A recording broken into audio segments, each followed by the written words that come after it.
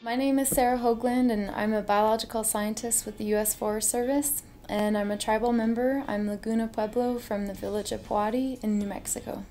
I see myself as an underrepresented group.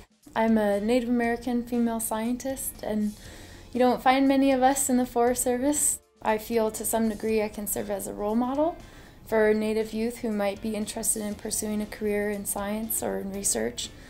Um, I also, directly with my research, I address a lot of um, research needs that are important to tribal communities.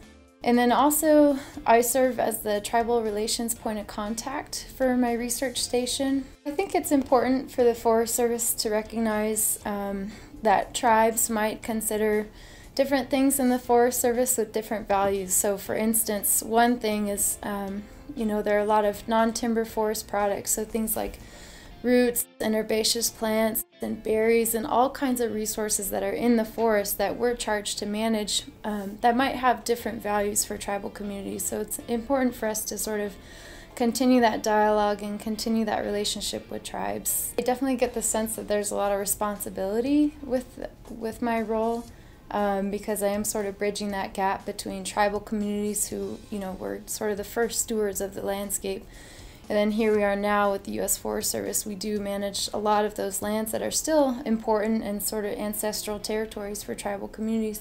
So I definitely get the sense that there's a lot of responsibility, but with that, there's there's also a lot of um, you know great benefit from that as well too.